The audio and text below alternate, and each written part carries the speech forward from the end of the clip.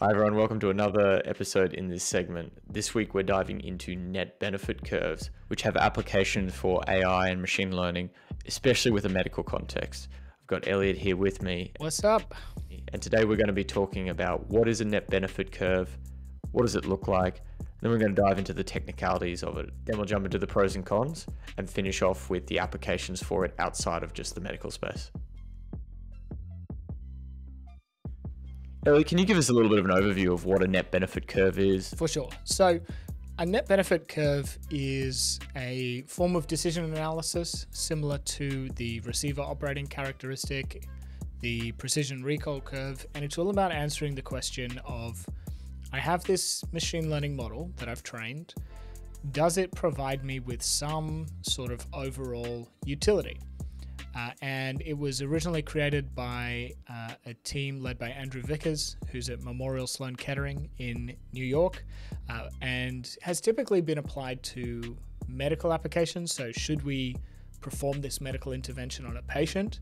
Uh, but you can really think of it being applied uh, in any case where there's varying costs between a false positive and a true positive, and you need to somehow weigh those up. Now, what does a net benefit curve look like, and what's on its axes? How does it work? Sure. So a net benefit curve has two axes, one of them being the net benefit, not surprisingly, and the other one being this idea of threshold probability. So the first thing we really need to understand to get into the world of net benefit curves is what on earth is a threshold probability? And I'll use the medical context uh, because it's the most commonly cited, but you can apply this pretty much anywhere. Uh, in the medical context, we think about true positives and false positives. And let's say it's whether or not to do a biopsy on a patient that we suspect might have, say, cancer. Let's say maybe we're looking at a picture of a mole on somebody's skin and we're saying, okay, maybe we do a biopsy. Now, a biopsy is not uh, that crazy, it's not uh, too expensive, it's not too invasive, but it is you know, more invasive than, say, taking a picture or, or taking a blood draw. Uh, it is an invasive procedure. And we have to think, or clinicians have to think, how many false positives, so biopsies that end up being benign and non cancerous, would I be willing to do for every case that I correctly get? Uh, so for every cancer that I pick up. And you know, for something that's very aggressive, uh, let's say you know an aggressive form of skin cancer, you might say, well, look, given that I can do a skin biopsy in my office, uh, it's small, it's quick, it's cheap. We don't need you know large amounts of anesthetic, very low risk.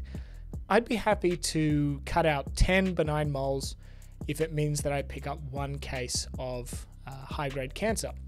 And in that case, the threshold probability would be a ratio of 1 to 10. So we're willing to do 10 negative procedures for every one positive procedure.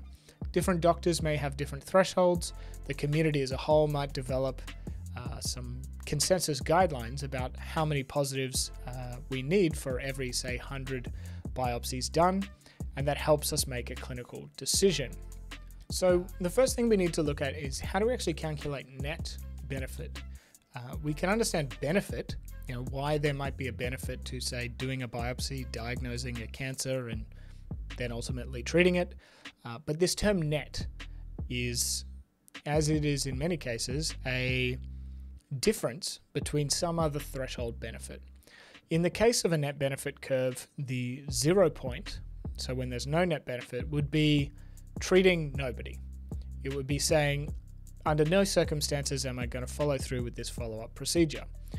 And what we want to be able to answer is using our tool, uh, whether that's a risk calculator or some AI model, as our determiner of the risk of the patient for, say, having this cancer, how much better off are we going to be compared to two different scenarios? That one I already described, which is don't treat anybody, and the alternative extreme scenario, which is treat everybody. So biopsy everybody that walks through the door. And we perform a calculation to get the net benefit. And that calculation looks like this. So uh, to calculate the net benefit, we take the number of true positives and then we subtract the false positives times some factor. And we'll call that factor f for the time being. Uh, and then because we want rates, we divide it by the total number. Now this f here is really dependent on that threshold probability that we talked about before. How many positives are we willing to, uh, how many negatives are we willing to take before we get one positive result? And that's calculated here as PT over 1 minus PT, where PT might be 10% uh, if we're happy for you know, roughly 1 in 10 of those to be positive. And so, what we would do to calculate the net benefit in that scenario, let's say we have a machine learning model that has a fixed sensitivity and specificity, we'd calculate the true positives and the false positives of a cohort of people uh, and divide that by the total cohort size. And we'd set our, our F factor, our decision threshold. Let's say we're happy to do a biopsy in anyone that has more than 5% uh, probability of having cancer. We want to be pretty conservative because it's, let's say it's an aggressive cancer in this case. Let's say we have a cohort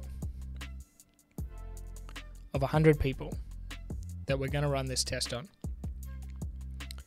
Within that, let's say we have five people that do have that disease. Uh, and when we run our test, we have our magical AI model that we've generated uh, at some other point. We run all 100 people through that AI. And what we get out the other side is a percentage chance for each one of these people. Now, getting that percentage chance means that we've calibrated our AI model. We've taken the score that it produces and, and taken that back to a percentage. And for each of these 100 people, we're going to get some score. Now, we said before that our threshold for doing a biopsy on these patients is if their score happened to be above 5%. Now, let's say in our theoretical example, four out of the five people that did have the disease got a score of above 5%. And additionally, let's say 11 people who didn't have the disease also got a score of above 5%. To then calculate the net benefit fit with our 5% threshold, we'd say what are our true positives, which is 4, and we would subtract our false positives, which is 11, times by our 5% threshold over a 1 minus 5% threshold. So in this case, if we put all those numbers in, we divide it by the total population size of 100, our net benefit comes out to be 0.03. So in this case, there is a slight benefit over not treating any of these patients. And you can imagine that we could calculate this number for varying different thresholds all the way from 0% up to 100% as varying cutoffs that mean we're either more lenient or more strict with who we decide, uh, decide to test. And by calculating those values at all of those different threshold probabilities, we can then generate a curve, which then becomes the net benefit curve. So what do we do with that? We plot it on a axis. And so on the y-axis here, we get our calculated net benefit scores. And on the x-axis here, we have our different decision probabilities. Now, those two lines that I talked about before, there's the treat nobody line, which happens at zero along this axis here, which is the treat no one. And you can imagine this to say that, you know, if we don't do any treatment compared to the base case, which is doing nothing, there can't be any positive or negative there. The other line that comes through this is the treat everybody line. And the way that works is we do that same calculation on true positives, false positives at varying different thresholds, knowing that five people in our made up cohort of 100 actually have the disease. Uh, and we draw this line here. And what we'll find is that this line crosses with a net benefit of 0.05, which is the uh, underlying prevalence. Uh, and where it crosses this nobody line is also at the 5% mark. Uh, because if we set our thresholds too high, uh, we'll be worse than treating nobody. And if we set them too low, we may see some benefit. When we've got our AI model, we then will plot its net benefit at various different points along the line. Now, that might start up here, it might come through, and then it might exceed going forward and go all the way across to 100%. And where these lines end up on the chart helps us determine whether this model is useful for making clinical decisions. So, how do you interpret this graph now you've got these lines on it? So, there's a couple of different scenarios where we might use a net benefit curve. Uh, there's one where we are comparing a single test, say this test here in red, to the treat nobody and the treat everybody scenarios. In that case, we need to make a clinical decision, uh, which is ultimately often outside the hands of the AI practitioner, to say, okay, in the areas where the AI model's curve sits above the net benefit of treating everybody and the net benefit of treating nobody, does this fall within the range of sort of acceptable behaviors? Uh, so we know that, say, at 5%, we would be getting a lot of false positives at that point. Uh, but you know, we may say that it's worthwhile because the cancer we may be looking for is quite aggressive. The other scenario that we may look at is comparing two different models. So let's say we have two different diagnostic tests that uh, assess different factors. Maybe they're different blood tests. Maybe one's an AI model, one's a traditional blood test. Within the region of uh, decision thresholds that we clinically care about, uh, or that we, I should say, practically care about, because there are applications here outside of uh, clinical utility, we have a look at which curve is higher. Now, if we say that our range that we care about is here, the green line is above the red line in all cases. So we would say, given that this is our sort of utility range, using that green test is better than using that red test. If our range is earlier on in this graph, let's say between here and here, where these two lines cross, we say, okay, it's inconclusive. There are some scenarios where the red test is better, some when the green test is better. Uh, and we have to decide what to do in that particular scenario. Uh, and in other cases, it may be worse on all fronts. But what this allows us to do is to say, okay, within the range of reasonable clinical decision making, does this test provide some benefit over the other test or over the two most extreme scenarios, which is intervene on everybody or intervene on nobody? So we've got our curves now, points of where we can make comparisons on. Where has this shown good clinical applicability and what are its shortcomings? So the original context in which this was created, uh, which is an area that Andrew Vickers works in a lot, is uh, in the world of prostate cancer testing. So historically, you know, PSA testing within prostate cancer, it's been a little bit give and take as to whether the benefits outweigh the harms.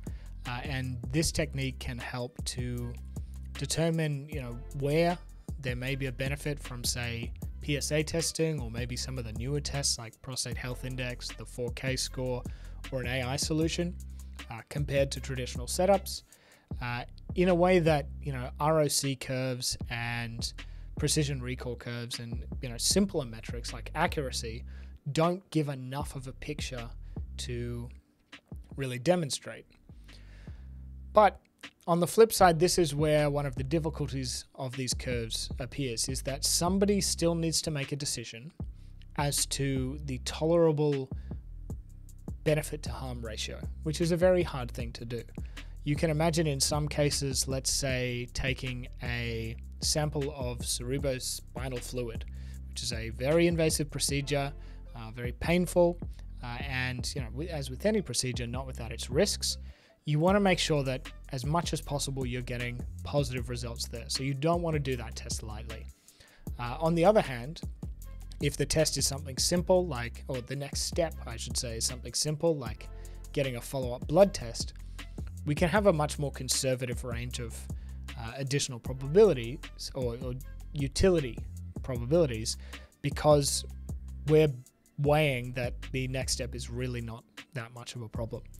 Um, but from the point of view of somebody developing AI, whether it be in the medical space around, you know, should we intervene with a test, or say perhaps in the financial space, where the decision might be should we mark this transaction as fraud or should we audit this person's transactions, uh, somebody really with domain knowledge needs to step in and make that decision because the AI practitioner themselves is unlikely to be an expert in that space. So, this net benefit curve seems to me like when you combine the two concepts of risk and intervention, how would you consider when is the best point to intervene or not?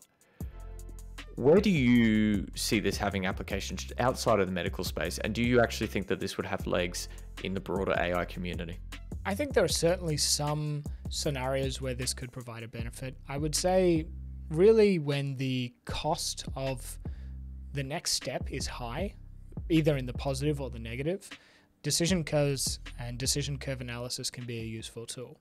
So, for example, in the financial space, if we are classifying uh, a list of, say, transactions and trying to determine whether this person is a fraudulent account, the next step might be canceling that person's account or reporting them to some sort of higher authority.